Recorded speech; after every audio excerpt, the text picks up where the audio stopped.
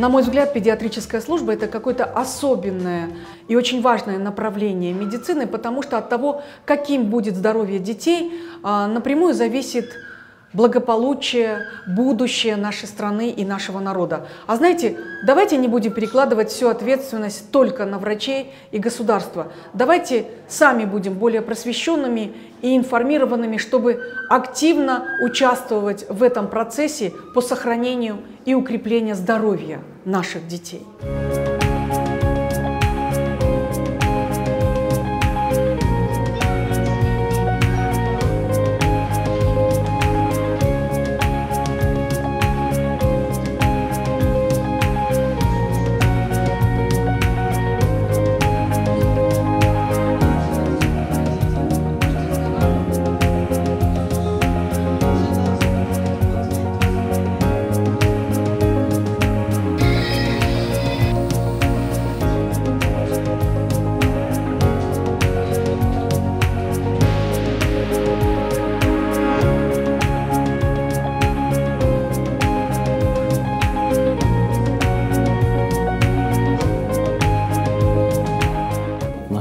Уже э, третий год предоставляет услуги нашему населению, в основном городскому. Э, наша служба направлена в первую очередь на помощь ребенку э, в тот момент, когда ему необходимо срочно сбить, допустим, обычную температуру тела, чтобы не было фибрильных судорог, ну и последующих, чтобы восполнить объем циркулирующей крови за счет того, что идет ребенок теряет жидкость,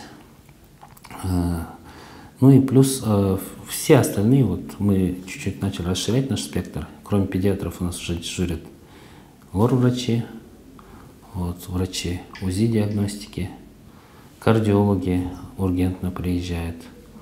Вот. Ну, мы постараемся ребенку оказать непосредственную помощь э, именно в тот момент, когда ему нужно. А этот момент может быть не обязательно днем, когда работают поликлиники. Вот, это может быть ночью, когда родители уже довольно хорошо спят. Это в 2 ночи, в 3 ночи, в 4 ночи, в 5 утра. Вот. Это такой момент, когда очень тяжело найти ту или иную больницу, либо э, в госбольницах имеется большая очередь. Если ты даже вовремя приехал, э, элементарно по очереди другие родители вас не пропустят, грубо сказать. Вот мы стараемся вот эти очереди э, быстрее обслуживать качественно, самое главное. Э, мы увеличили количество педиатров, чтобы эту очередь быстрее можно было э, уменьшить. Приоритет – это помощь пациенту. Это самое главное, независимо, кто он, что он. Мы любому пациенту помогаем. Вот, э, стабилизируем, а после мы уже начинаем выявлять откуда, что. Но первичную помощь мы оказываем. Очень много было детей, которых прям заносили на руках. Была анафилакс... анафилактический шок, были отеки квинки, были инородные тела, были э, нарушения ритма наджелудочковой тахикардии. Ну, это из экстренных, да, инородное тело было. Вот. И мы всех, всех эти, всем этим детям оказали первичную помощь. А, и так сказать, спасли этих детей. Это искреннее желание помочь каждому пациенту. Это самое главное у нас. Вот действительно должна быть искренность от врачей и э, непрерывное, э, непрерывное желание всегда улучшать качество предоставляемых услуг, чтобы наши врачи постоянно совершенствовались. Вот мы всегда поддерживаем различные конференции, стажировки, а, повышение квалификации наших врачей. Проводим лекции, тренинги, отправляем наших ребят на учебу. Потому что такого не бывает, что врач с неба не падает. При выборе сотрудников самое главное наше, так сказать, критерий нашего выбора – это э, желание вот этого сотрудника постоянно развиваться в профессиональном плане. Ну и он должен быть как человек тоже Э, так сказать, нормальный человек он должен быть, потому что врачом можно стать, можно специалистом любой профессии стать, а вот человека тяжело перевоспитывать.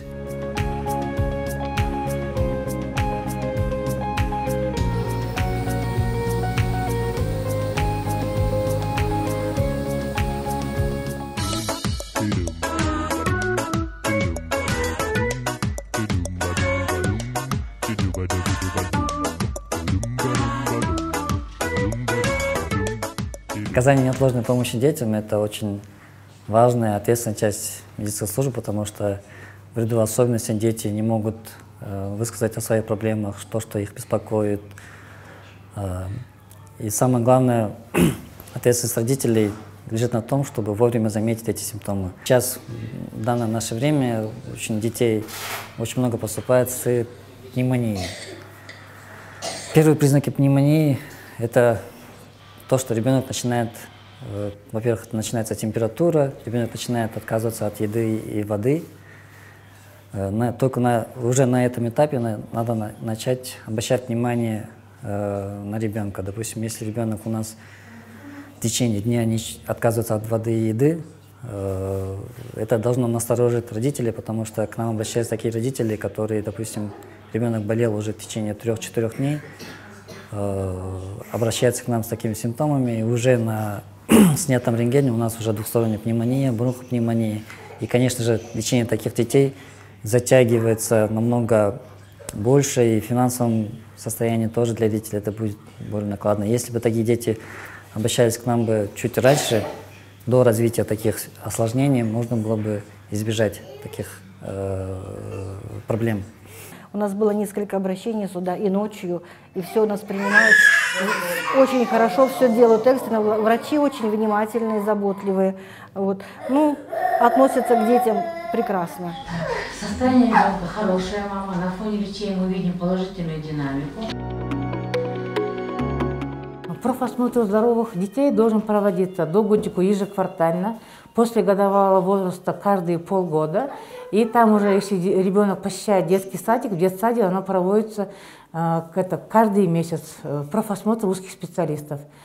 Э, ребенок годику должен знать 8-12 слов, к двум годам 25-40 слов, плюс должна формироваться простая фразовая речь, и к трем годам у нас должна быть четкая фразовая речь. Да?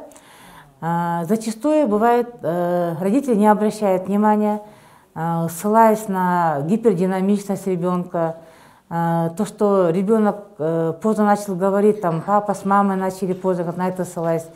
Но мы должны насторожиться и проверить, пройти профосмотр у невролога.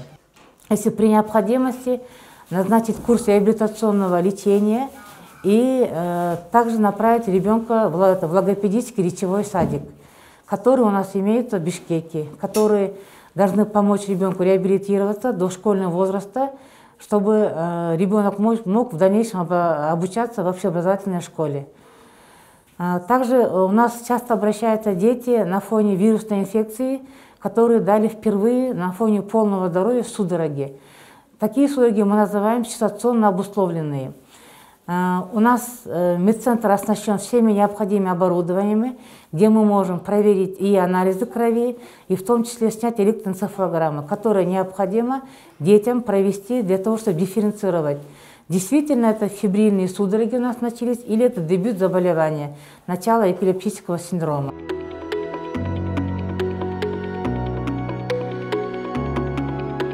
Э, я считаю, исходя из своего личного опыта, э, мало проводится профосмотров, профилактических осмотров, а, учитывая, что население не все приписано, и в связи с этим они не получают должной консультации. А, фибрильные судороги идут в связи с тем, что э, ребенок до годового возраста не проходил медосмотр у невролога. Мы всем детям в виде скрининга обследования проводим УЗИ головного мозга. И после УЗИ головного мозга мы решаем, и после нашего осмотра неврологического, решаем вопрос о вакцинации. Да? Зачастую э, дети гипервозбудимые, плаксивые, выгибают голову назад, э, нужно дифференцировать. Да? Или здесь у ребенка идет отит, или здесь идет синдром повышенной возбудимости у новорожденных детей.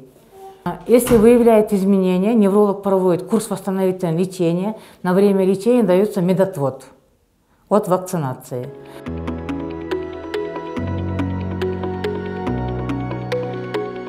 А для того, чтобы родить здорового ребенка, это работа совместно с гинекологом. А, наши беременные женщины должны вовремя стать на учет, а, получать профилактическую э, витаминотерапию. Зачастую мы назначаем фолиевую кислоту йодомарин и, и избегать психомотан стрессов, переживаний, чтобы родить здорового нашего ребенка.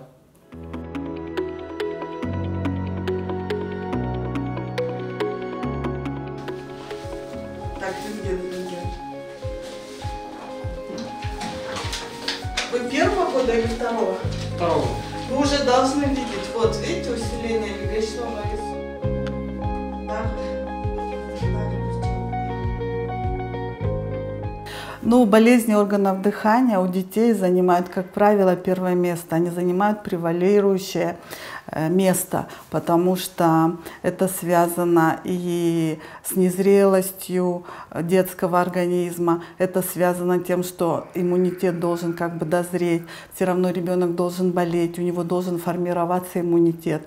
А иммунитет формируется только тогда, когда ребенок, организм ребенка встречается с респираторными бактериями, с респираторной инфекцией. Ну и, конечно же, в болезнях, среди болезней органов дыхания особое место занимают аллергические заболевания. По данным Центра электронного здравоохранения Минздрава Кыргызстана, число аллергических заболеваний за последние э, пять лет превысило, если я не ошибаюсь, два с половиной раза. Это аллергические риниты, аллергические конъюнктивиты, риноконъюнктивиты и полинозы. Конечно же, это связано с экологией. И количество таких больных превалирует в осенне-зимний период. Это связано с тем, что в этот период идет загрязнение воздуха, скученность в детских садах и в детских дошкольных учреждениях и школьных учреждениях. Но я, конечно, не могу не отметить, что 2020 год ознаменовался новым вирусом, что пандемия, конечно, изменила всю экологическую ситуацию и ситуацию в структуре заболеваний. И вот в этот период, начиная с осени 2020 года по сегодняшний день, количество больных с, респираторными, с острыми респираторными заболеваниями, с ОРВИ у нас очень э, больш, большое обращение. И количество таких больных очень много.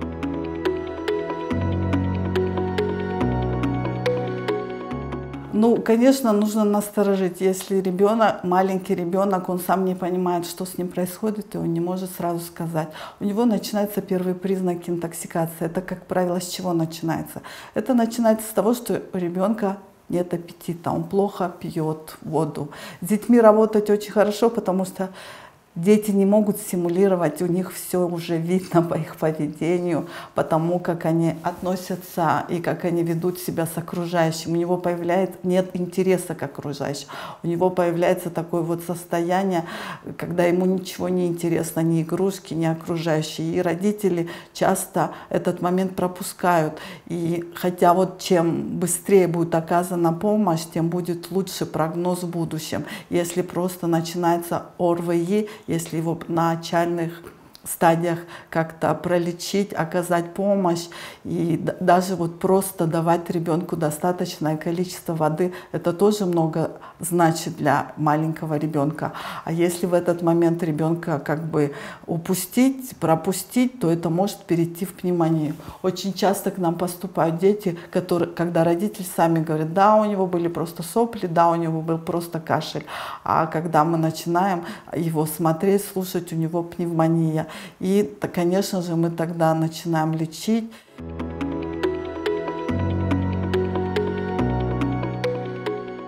По поводу самолечения это вообще отдельная тема. К сожалению, с одной стороны, к сожалению, а с другой стороны, наоборот, это какой-то большой плюс. Наша фарм-индустрия работает хорошо. Кыргызстане, в Бишкеке очень большое количество аптек. В аптеках очень большое количество лекарств. И часто я сама захожу в аптеку, и я вижу, когда фармацевт, продающий лекарства, рекомендует родителям, вот возьмите вот это и рекомендует, как что назначать. Очень часто у детей первых двух лет просто идет ОРВИ и ОРЗ, когда не нужно назначать отхаркивающие препараты. Вот буквально на днях я зашла в аптеку и стоя в очереди в аптеке, я услышала, как фармацевт говорит, папа говорит, у меня у ребенка кашель, и она ему назначает, и он покупает лекарства, фармацевт говорит, вот если вот у вас кашель, можете 2-3 раза в день, а какой у вас кашель? Папа говорит, да, вот что-то отхаркнуть не может. А, говорит, можно 3 3-4 раза. Я стояла, ну, моя гражданская позиция, я, конечно, сказала, я говорю, посоветуйтесь с врачом, не нужно заниматься самолечением. И детям до двух лет отхаркивающие препараты нужно назначать с большой осторожностью, потому что все отхаркивающие препараты усиливают кашлевой рефлекс. И там есть определенные моменты, когда бывает кашель носоглоточный, когда кашель бывает за счет легких.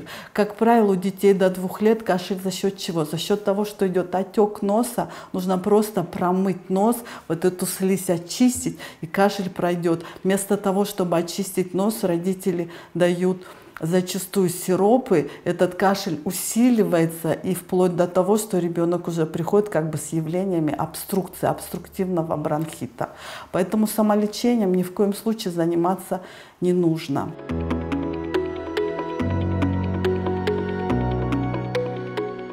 Самые простые меры профилактики – это вот я вот всем своим пациентам говорю, понимаете, мы врачи, мы вам оказываем помощь, но 24 часа ваш ребенок с вами. Самое простое, ребенок должен выходить на улицу, у него должен быть режим, он вовремя должен утром вставать, вовремя вечером ложиться. Вот эти вот э, компьютеры, эти сотки, эти гаджеты, это все, вот ребенок 6 месяцев, он уже смотрит в этот вот гаджет или в сотку. И за счет этого ритм уже меняется. Есть определенные биоритмы сна. Ребенок должен ложиться вовремя, вовремя вставать. За счет этого есть определенные часы, когда идет выработка определенных гормонов. Гипофиз работает по часам. Это не секрет, потому что человечество издревно работало по часам. Есть солнечные часы, лунные часы. И в каждый определенный момент суток определенный гормон работает. Если связь между э, выработкой это, этих гормонов соблюдается, то, конечно же, формируется иммунитет. Чтобы у ребенка был хороший иммунитет, в первую очередь сон, свежий воздух.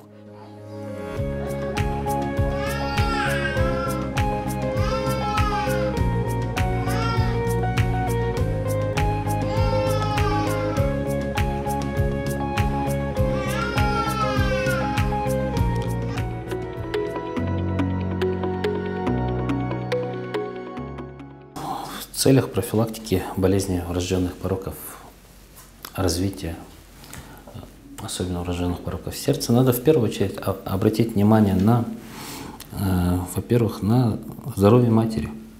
В первую очередь, чтобы мать была и отец был готов к, э, так сказать, к здоровому оплодотворению, э, чтобы во время беременности мать э, правильно питалась, меньше болела, вот, э, желательно не употребляла различные синтетические продукты, лекарственные продукты. Вот, потому что все врожденные пороки развития возникают э, во время э, формирования ребенка, плода. Это сердце, это, грубо сказать, первые два месяца до трех месяцев. От 8 до 12 недель. Желательно вот в этот период э, очень надо оберегать мать, мать, да, роженицу, так сказать.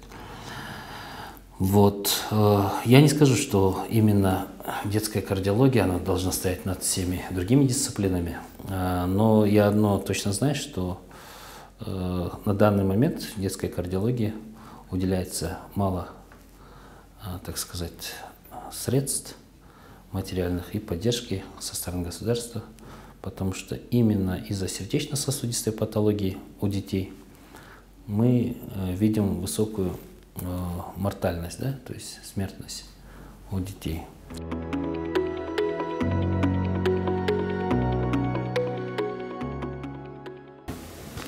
то в первую очередь э, родители должны обратить внимание на цианоз, синюшность вокруг губ может быть часто.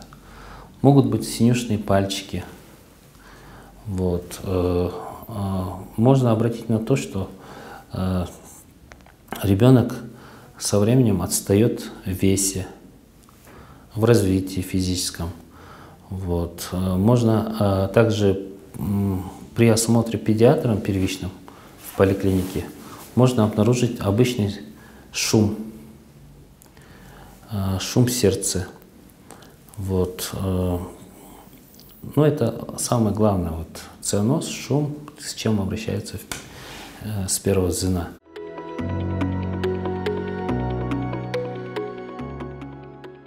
Э, врожденные пороки сердца, э, их несколько видов, они даже по классификации делятся на синие пороки, белые пороки, стенотические пороки. Их более ста видов. То есть порог сердца – это не приговор.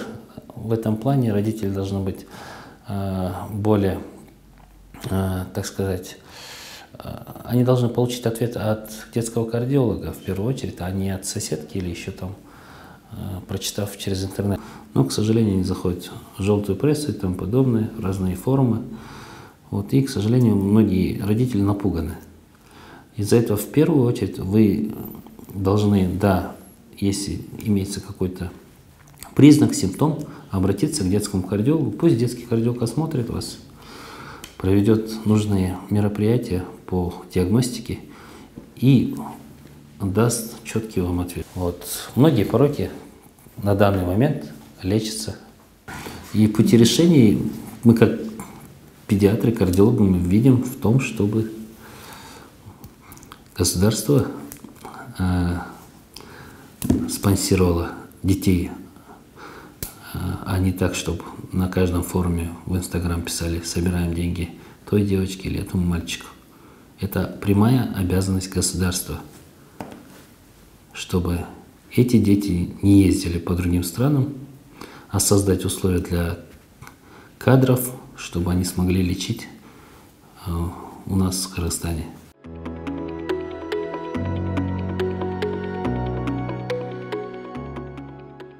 Наша служба по сравнению с Центральной Азией, кардиохирургическая служба, построена лучше, но, к сожалению, за последние ну, 30 лет, скажем, да, население страны растет, рождаемость увеличивается, но, к сожалению, э, койко-мест, материальная база для проведения кардиохирургических, а также проведения высокотехнологических э, эндоваскулярных э, кардиологических операций для детей, она в этом плане почти не двигается.